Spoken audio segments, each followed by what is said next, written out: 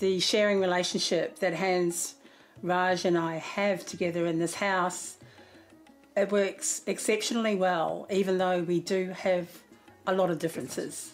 And I think that is because of respect, a foundational respect for each other and just as humans, as, as people. And so gender and age and all those things doesn't really come into it.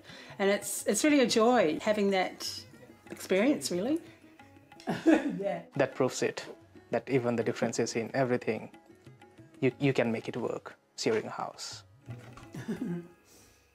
Cate, you're single and also like to live with a housemate. How many housemates would you have lived with over the years? I'd probably say maybe about 50. What do you like about having a housemate? I just think it's really important that we share. I think there's a lot to be had by just having somebody else around the house, actually. Financially, do you need to be splitting your rent with someone else? Yes, I do.